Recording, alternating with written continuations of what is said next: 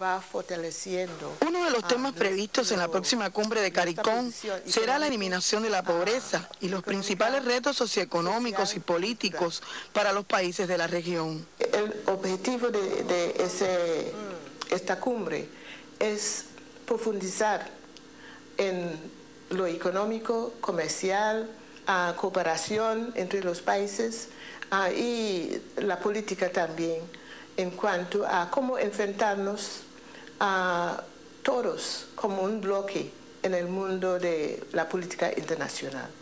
Así que, ah, primero que nada, los gobiernos, los jefes de Estado, va a hablar del problema de la pobreza en, en, en, CARICOM. ¿Cómo vamos a erradicar la pobreza en los países de, de CARICOM? ¿Cómo vamos a imponer un sistema de equidad, de justicia en los países. La diplomática señaló que las relaciones Cuba-Caricón están en un momento muy positivo. Tenemos una larga historia de cooperación con Cuba. Ah, en muchos países de Jamaica, de, de, uh, de Trinidad y Tobago, Barbados. En Trinidad y Tobago especialmente hemos ah, tenido una fuerte representación de médicos cubanos que da un servicio excelente eh, en mi país.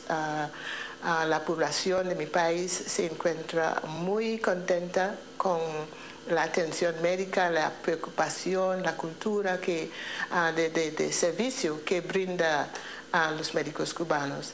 Así que eso, eso trae también, aparte de la parte de salud, trae una relación humana, una relación Ah, de, hermanos, de hermandad entre los dos países que, es muy importante para el proceso de integración.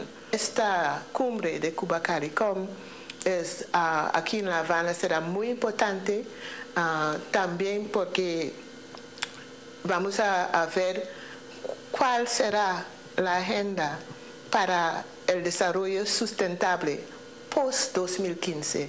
Para los diplomáticos caribeños en Cuba, el camino está sobre la mesa, con la integración solidaria de cada uno de nuestros pueblos.